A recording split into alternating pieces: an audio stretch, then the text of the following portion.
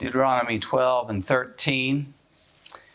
And Elijah Dean, would you lead us in prayer, please? Dear Heavenly Father, we thank you for this day that we can come and worship you tonight and pray that you be with those that may not be here yet and help them to have a safe trip here. And please be with those that were not able to make it out tonight. Help them to get through whatever illness or sickness they are dealing with. And thank you for sending your son Jesus to die on the cross save us from our sins. And please help more souls to be saved in Jesus' name. Amen. Amen. All right, uh, Deuteronomy 12 and 13 is a, a portion of the book where Moses is preaching through really the first two of the Ten Commandments, uh, where he talks about, of course, back in chapter 5, have no other God before me and have no graven images. And as we go through this, I think we see him sort of expounding and making application on those things. But uh, let's read Deuteronomy 12 to begin with, verses 1 through 4. Who will grab that for us? Deuteronomy 12, 1 through 4. Clint, did you raise your hand? Yeah, you're going to have to raise your hands just a little higher, so I'm a little lower. Yeah. These are the statutes and judgments which ye shall be careful to observe in the land which the Lord God of your fathers is giving you to possess all the days that you live on the earth. You shall utterly destroy all the places where the nations which you shall dispossess serve their gods on the high mountains and on the hills and under every green tree. And you shall destroy their oh, altars, break their sacred pillars, burn their wooden images with fire. You shall cut down the carved images of their gods and destroy their names from that place. You shall not worship the Lord your God with such things. Okay. So this entire chapter really is directed at worship the way that God directs and prescribes, and it opens up here with when they get into that land, they are to purge idolatry out of that land, get rid of it. And why is it that they would need to get rid of that?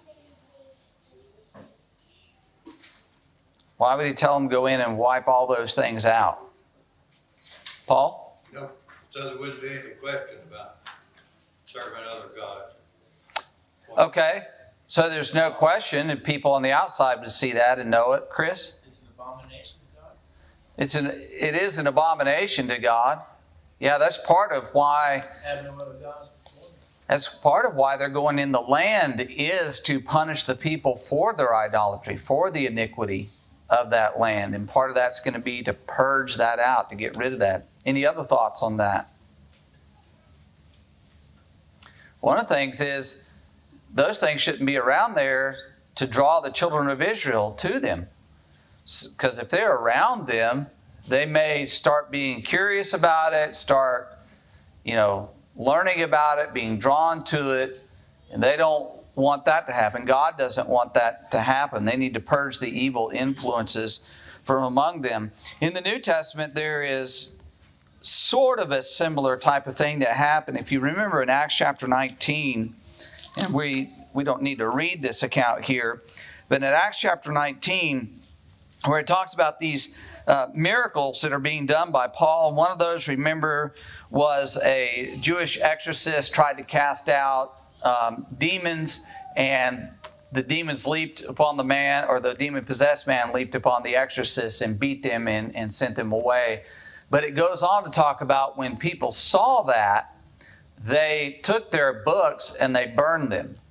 And it's the idea of their idolatrous books, their unholy books, those types of things, that they got rid of them and got and purged them from among themselves, among the Christians. So here's the same type of idea. Get in there and get rid of those places because he talks about destroy the places where they are. And verse 3 destroy the altars and break the sacred pillars and the wooden images.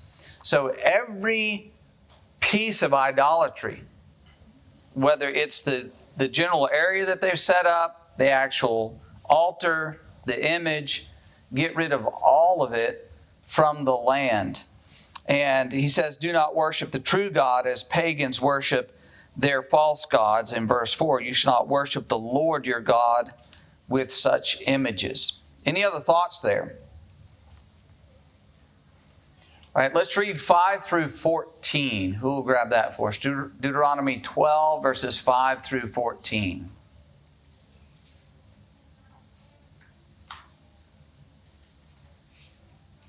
Go ahead, Zach.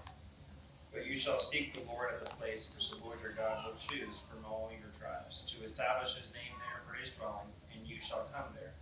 You shall bring there your burnt offerings, your sacrifices, your tithes, the contribution of your hand, your vowed offerings, your voluntary offerings, and the firstborn of your herd and of your flock.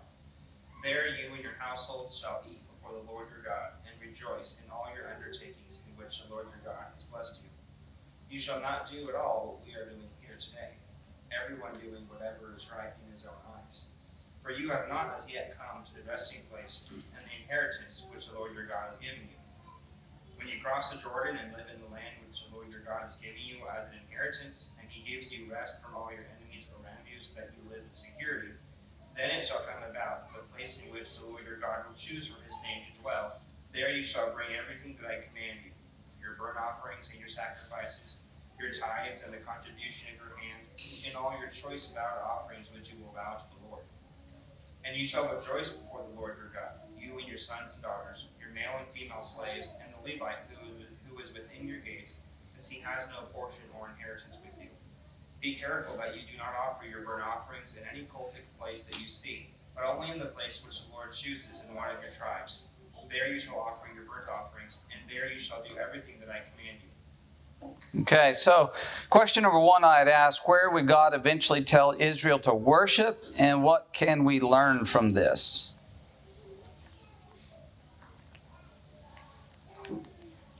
Where's the big place of worship eventually that everything ends up centered there? Yeah, eventually the temple in Jerusalem. Uh, when Solomon built the temple, of course, David had uh, bought the threshing floor of Araunah there before the Ark of God had been there for some time. David collected all the materials, but then the temple is built there. Solomon dedicates that temple. And then it talks about in Solomon's dedication prayer how the people should turn and pray toward that house, uh, no matter where they may be. So eventually it's in Jerusalem. Where was it before that? Did anybody get that? It's sort of temporary, but it was temporary for hundreds of years. The tabernacle. The tabernacle. Place to place for them. Yeah, out in the desert, they moved it from place to place. And Philip, Is it Shiloh? Yes, in Shiloh, in Joshua chapter 18, they had set up the tabernacle in Shiloh after they had gone in, they had conquered the land and sort of started to semi establish themselves there. Um, when you get into uh, the book of First Samuel, it's still in Shiloh. Remember, the book of First Samuel opens up with Elkanah and Hannah going down to going to Shiloh to offer up the sacrifices. That's where that story unfolds with Hannah, and then of course her giving birth to Samuel, and then it, it talks about later on how that that tabernacle was in Shiloh. So there was Shiloh for a time, but the permanent dwelling place is really what he's referring to here in Deuteronomy. He's looking ultimately to Jerusalem being the place of worship for his people. Now, what can we learn from that? Anything? Any lesson to be drawn out?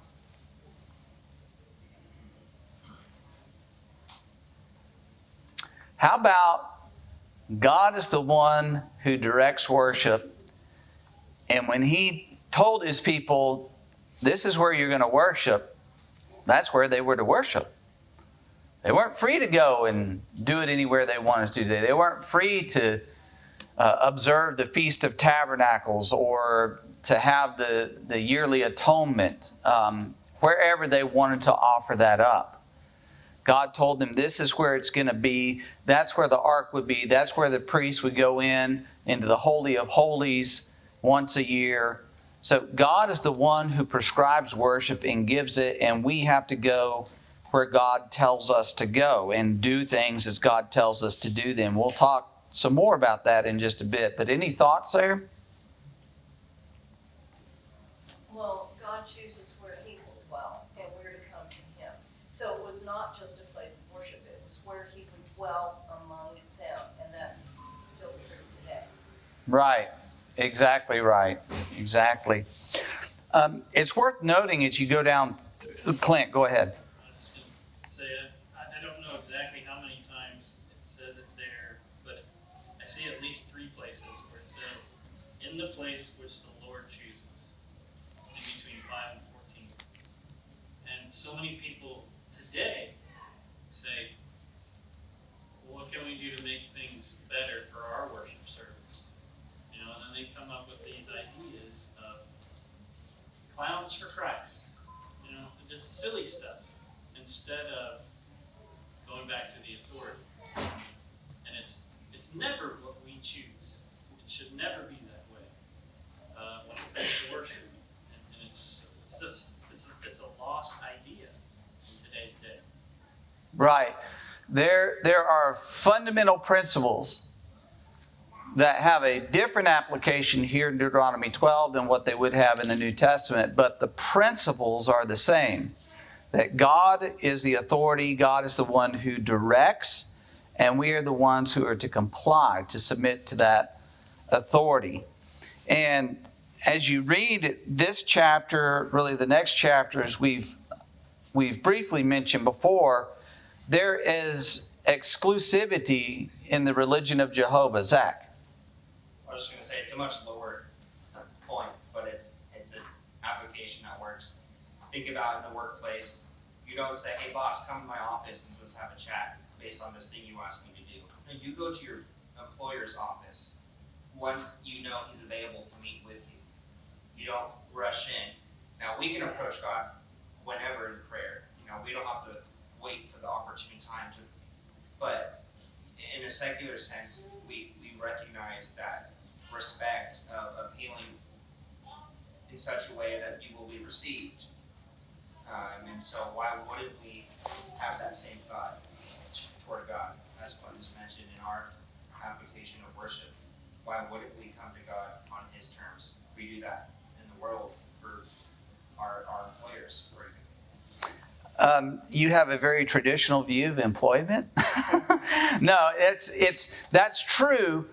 It is changing in our culture, though. There there is this spreading disrespect in every area of life, in in schools, in the workplace.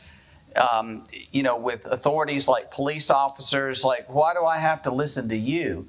You know, that kind of attitude. But you're right. People there are still a good number of people who recognize, you know, this person's in authority over me, and I dance to their tune. They they don't do what I decide to do here. So that that is a point well taken. Um, when you when you read in here, you see this exclusivity. Paganism is ecumenical. Paganism was the idea you can have your God and I can have my God and you can worship where you want to worship and how you want to worship, and I'll worship where I want to worship and how I want to worship, and we're all good. Because it doesn't matter which God you serve, how you worship, where you worship. None of that mattered in paganism. Where am I going with this? Join the church of your choice. Join the church of your choice. You can believe how you want to believe. I'll believe how I want to believe. You worship the way you want to worship. I'll worship the way I want to worship that that has completely infected the religious um, community, if you will, the, the religious thought of people in our nation. Just do it however you want to do it. And it's called ecumenism. It's called, you know, everybody's okay. We all accept each other. And, and that, I want us to understand, that's a pagan idea.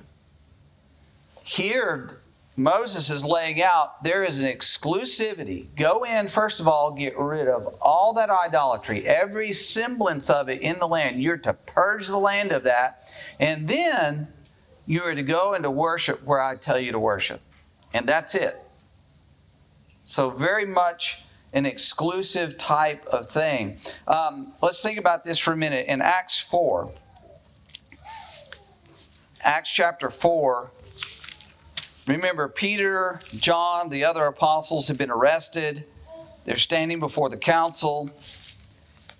In Acts 4, verse 10, when he's been questioned, you know, what authority do you have to do these things? And he declares them, Well, it's in the name of Jesus Christ that I do these things. And Acts 4, verse 12, if somebody would read that for us, because Peter makes a key point here. Acts 4 12. There is salvation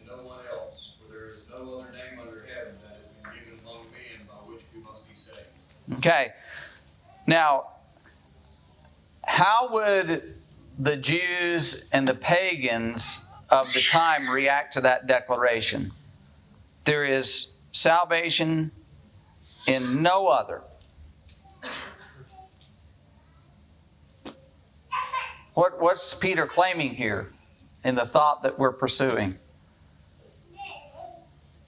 Philip. claiming that they're all, I mean, they're all wrong, they're all faulty in their beliefs. Right? They are faulty in their beliefs. Exactly how they acted. Uh, it goes on to talk about how they corrected him. Yeah. Be quiet, stop, stop preaching that day. Right. And he's ex- he's claiming exclusivity in Jesus Christ. There is no one else you can go to or turn to. You have to go through him for the salvation of your soul. That was offensive to the Jews, that was ridiculous to the pagans. But the, where, where do we stand today in our society on this question? Salvation is in Christ alone. Mike. It's offensive and it's ridiculous to a. Yeah. You know, you there there's there's people you see they have the coexist bumper stickers on their cars, you know, who they they just think every religion is valid. That is that's not even masked paganism or dressed up paganism. It is just paganism.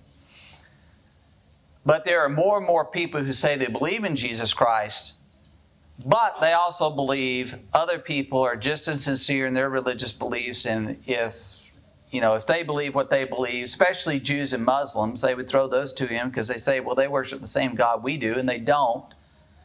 But they say they worship the same God we do. So as long as they're sincere in their beliefs and they're decent, good, upstanding people, everything's okay with them. So this idea that salvation is only in Christ is breaking down even in our society today. Um, what about Galatians 1? Galatians 1, verses 6 through 9. Who will grab that for us? Galatians 1. Galatians 1, 6 through 9. Six through nine. Yes, sir. And I marvel that you are turning away so soon from him who called you the grace of Christ to a different gospel, which is not another, but there are some who thought you and want you to prevent the gospel of Christ. But even if we or an angel heaven preach any other gospel to you than what we have preached to you, let him be accursed. As we have said before, so now I say again, if anyone preaches any other gospel to you than what you have received, let him be accursed. Okay. So Acts 4, one Savior, Galatians 1, one gospel. There are no other gospels, but what do people, how do people view this today? Clint. There's one gospel, there's one Bible, but there's many interpretations. Right. So we, we don't have to necessarily agree on everything. We can we can have a variety and still be pleasing to God. Okay. The gospel is also called what? The okay, the truth, Revelation. the revelation, or good news, the word. I'm looking for another one. The faith. Right? The faith. But a lot of people say, well, what faith are you? Well, that, that is a wholly unbiblical question. There's only one faith in the Bible. But what they're saying is, how do you believe? How do you worship? What's your particular brand or flavor of Christianity? That's what they're asking in that. And Paul's saying here, there's one flavor, there's one brand, there's only one gospel. Anybody comes to you with a different one, they're to be accursed, condemned. Clint. Yeah, uh, if you remember the, the Ephesians, great is Diana, and, uh, but in Ephesians four, five, one Lord, one faith, one baptism, one God and Father of all. And that, very offensive now. Offensive back then, and, and nobody really understands that. Right. And that's that's the thing that I, I'm driving at here is, you know, Moses is warning the people, you're going into a land that's filled with paganism. And you have to deal with that. You've got to purge that out. You cannot be lured into that way of viewing the world and religion and worship.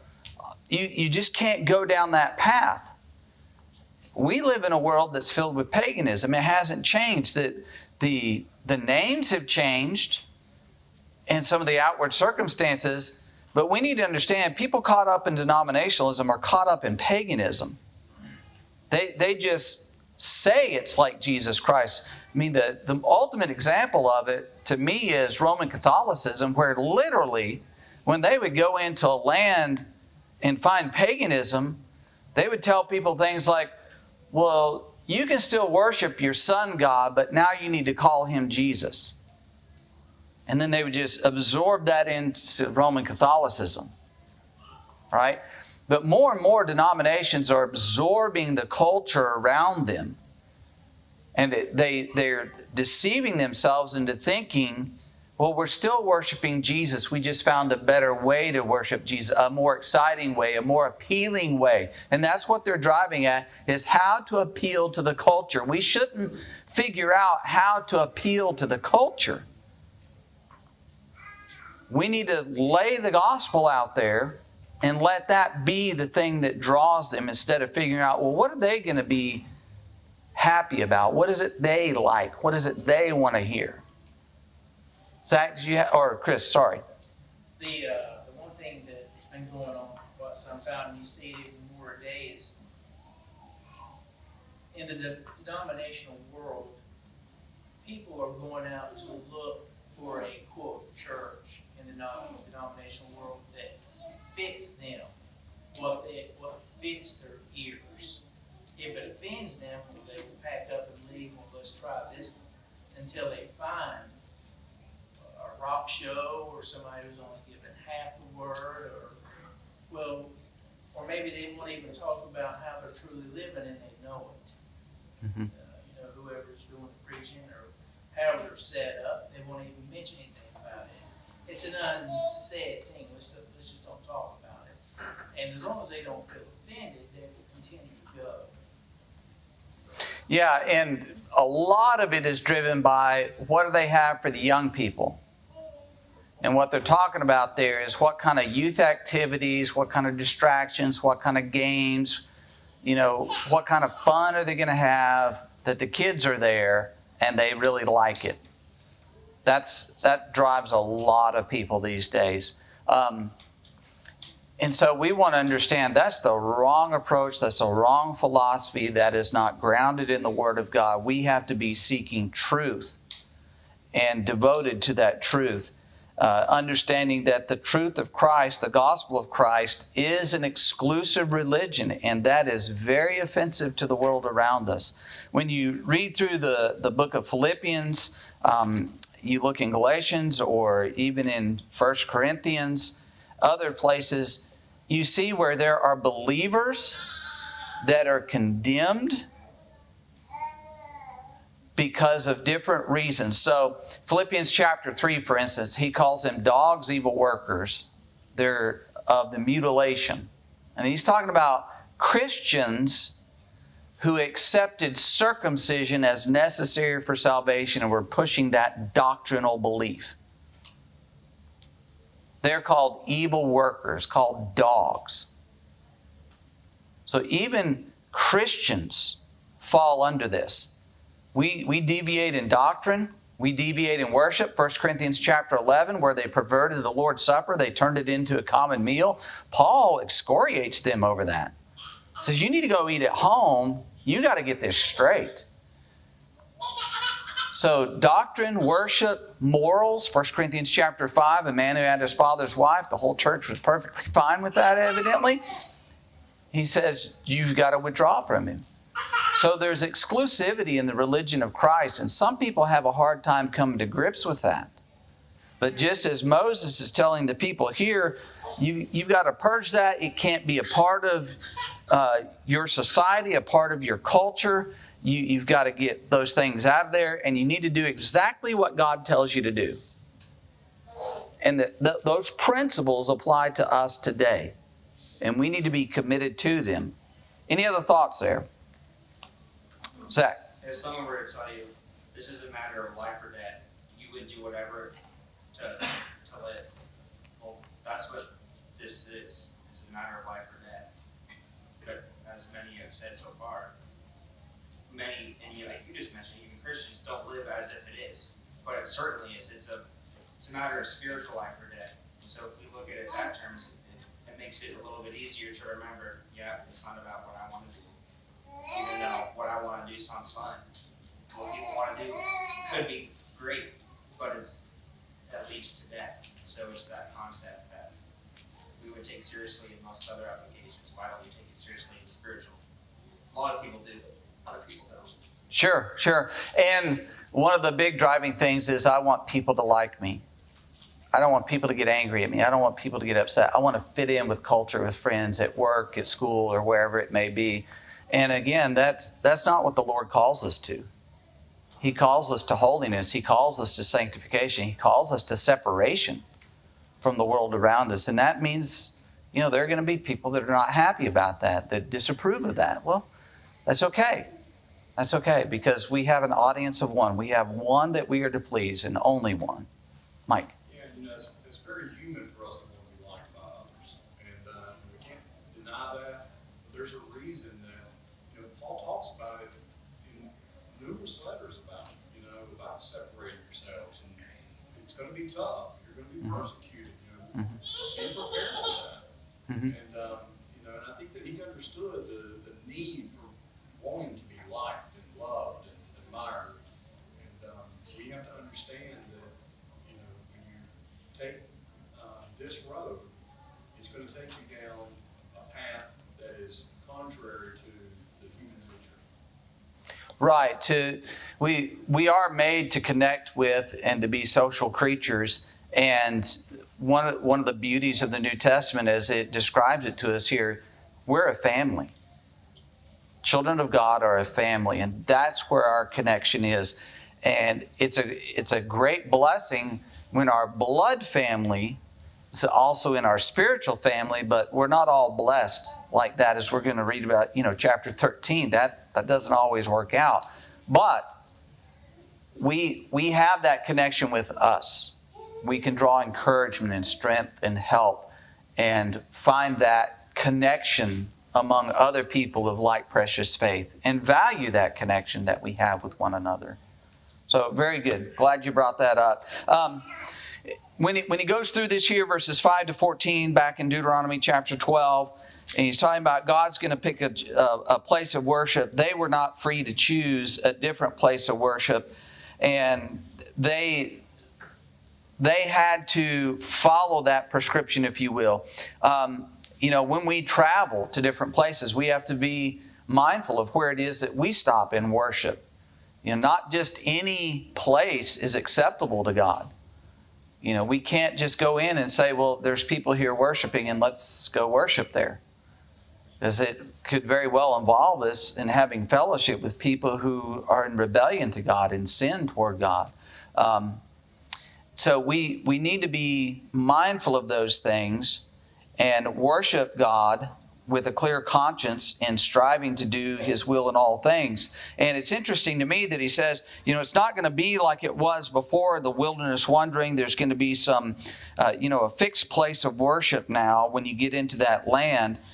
And it just shows me that there is a change in the way things are done, a change of authority. And from the Old Testament to the New Testament, there's a change of authority as well. All right, any other thoughts there?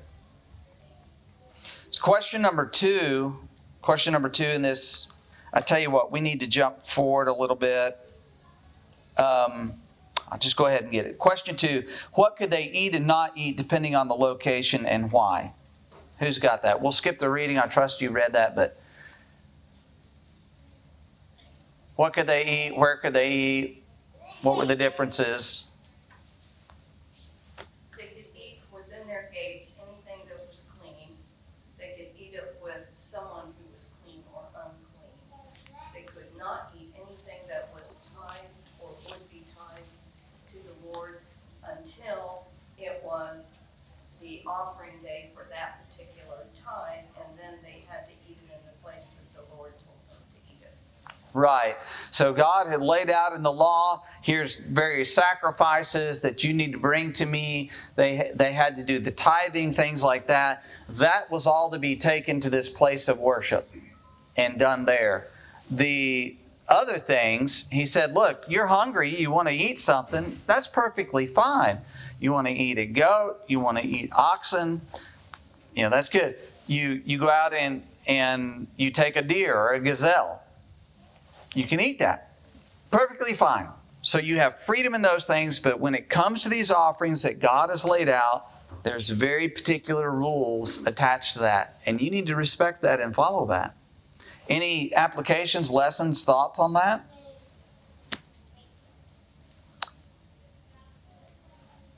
What about the Lord's Supper? Let me ask you this.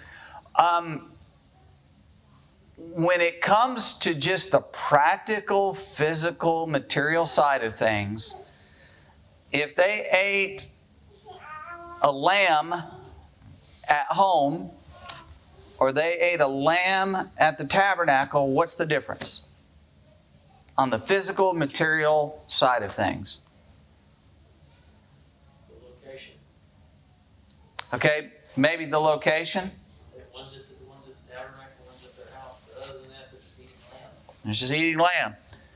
What's the difference, though? One is to the Lord, one is for physical food. The purpose. The purpose of it, right? When there's a difference in a purpose of a common meal and the Lord's Supper. Has anybody ever eaten unleavened bread and drank grape juice at home? Anybody ever done that? I'm not saying that you that you go and you're like, okay, I'm going to say a prayer for the body of the Lord. I'm going to say a prayer for. That's not what I'm talking. I'm just asking, have you ever eaten unleavened bread and had a glass of grape juice in your home? I have. Hey, what's the difference? It's the purpose. It's not in the elements. Yeah, there's some difference in the location, right? But the difference is the purpose, the point of it. And that's really what Paul's driving at in 1 Corinthians chapter 11. He says, We're, we're not coming together for a common meal. That- That's not the reason we're here. And so you shouldn't make it a common meal. We're here to remember the sacrifice of the Lord and to declare we believe in Him and look forward to His return. So there's a difference in those things. And that's what Moses is laying out for them here. Look, you can eat what you want, but when it comes to the sacrifices, there's a very specific rules attached to those things. Any other thoughts there? All right. Uh, jumping forward a little bit, let's read 29 through 32. Otherwise, we're not going to get to chapter 13. So, chapter 12, 29 to 32. Who'll read that? Philip.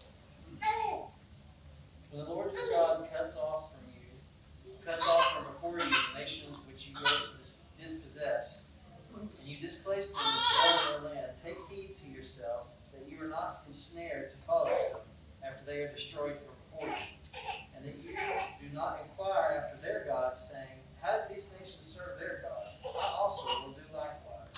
You shall not worship the Lord your God in that way. For every abomination to the Lord which he hates, they have done to their gods. For they, for they burn even their sons and daughters in the fire. Whatever I command you, be careful to observe it. You shall not add to it nor take away from it. Okay, s- question three I'd ask what is the lesson of these verses? How is it applied today? So, what's, what's the upshot of what he's telling them here? Don't change it, Don't change it? don't change it. Okay, Mike, you have something to add? Well, I was just gonna say, you know, they're going into a place that's been described as a, a land flowing with milk and honey. And you all the blessings that these people have on the land.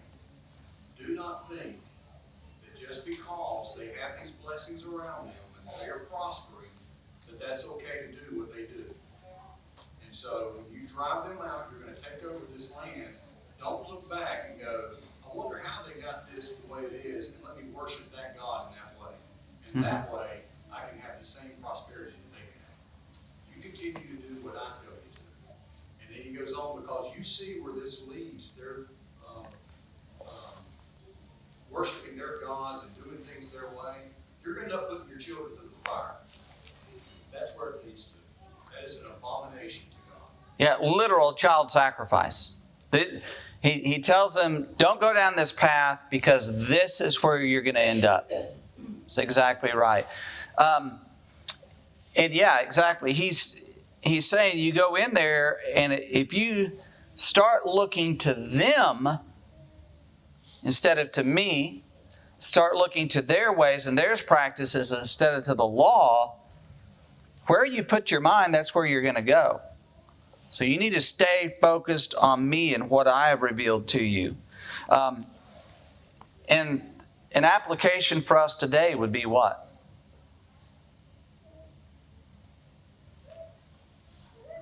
Clint. Don't be influenced by other denominations. Don't be influenced by other so-called church leaders. Only look as the Bible as your guide. You are seeking out to do whatever it is that you're doing, you make your decisions from the Word, not from outside influences. Right. I, I think more and more uh, there are brethren who are looking to see what denominations are doing and they're maybe not wholesale adopting them, but it's like they're looking to them as the model of how to attract and draw people. And that's that's a dangerous thing. I'm not saying everything denominations do is wrong. But to use them as a standard, to be enamored with them and their popularity and the excitement around it, that's, that's an extremely dangerous road to go down.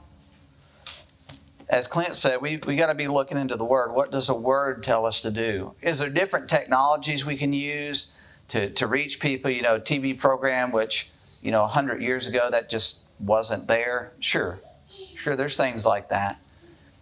But there seems to be more of this appeal and a denominational approach as to how to how to draw people in. You can see a lot of this in VBSs and where a lot of people are now dressing up as characters and they're putting on shows and plays for kids.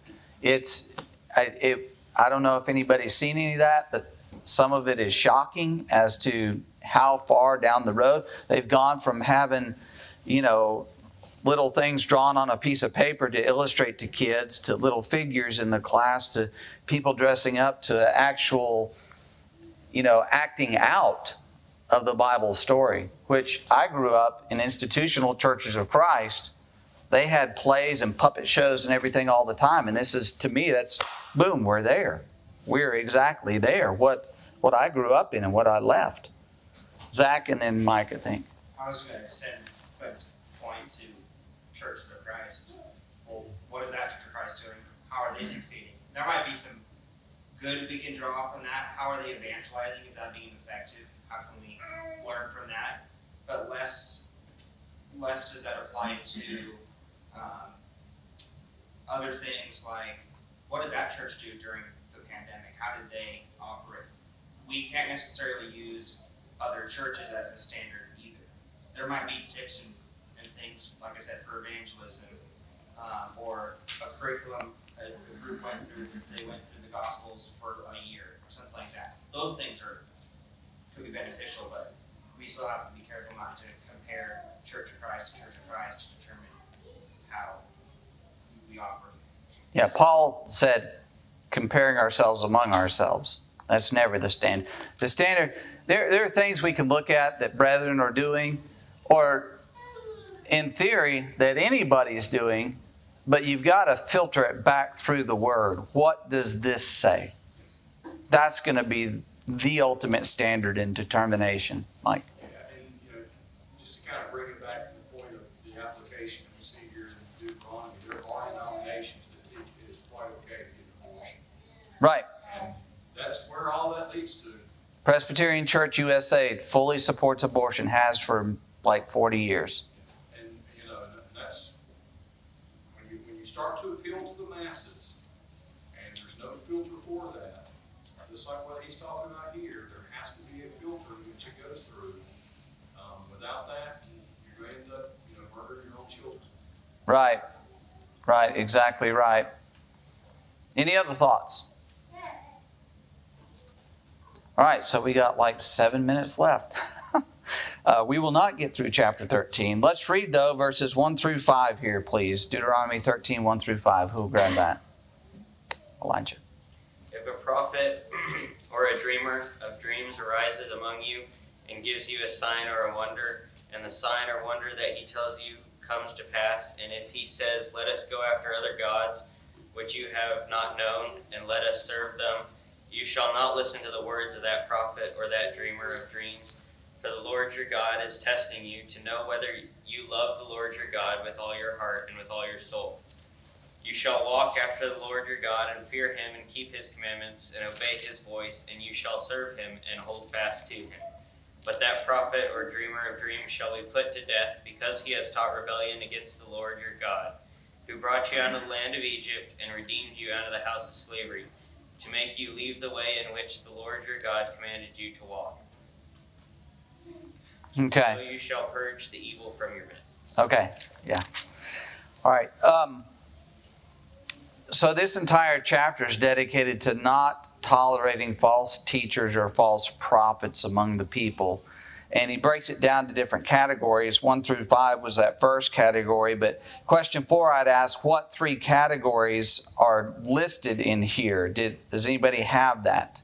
He kind of addresses three different groups or categories. I'm not sure about this, but, uh, the prophets, the false prophets, family members, and corrupt men. Okay. There are the false prophets who are being the prophets, so we might say religious leaders. Number two is family and friends. And number three, he talks about cities. About here's this city that's it's been reported that this paganism's coming out of, and you need to investigate and go in and find out if that indeed is the case. But three categories. Uh, similarities between them is idolatry is being promoted. You need to reject and punish it. And the difference is what? Anybody have a difference in these things?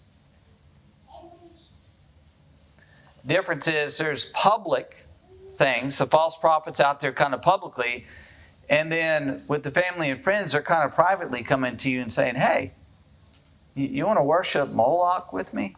You, you want to go worship Baal? Let's, let's go out here in the field or behind the barn or whatever it is.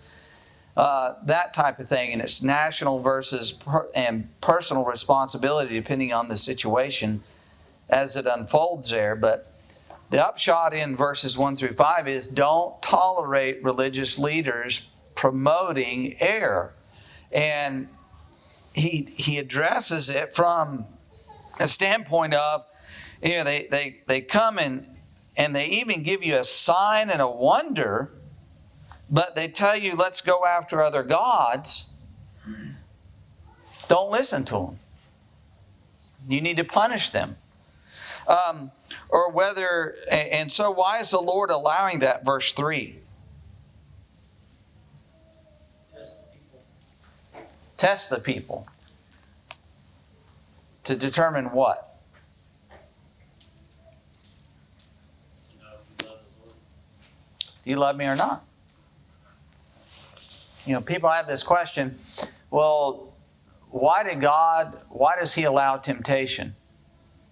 This is the answer right here. Testing.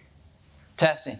If, if there wasn't temptation, there would not be love. If you don't have a choice, there is no love. You have to have a choice in order to express love, to apply love. Because if you don't have a choice, what is it? Bang, What? bang, bang. Your religion would be bang. Well, it, it, it would be vain, but if you don't have a choice, if you're made to do something, in other words, if, if the only thing you can do is right, what is it?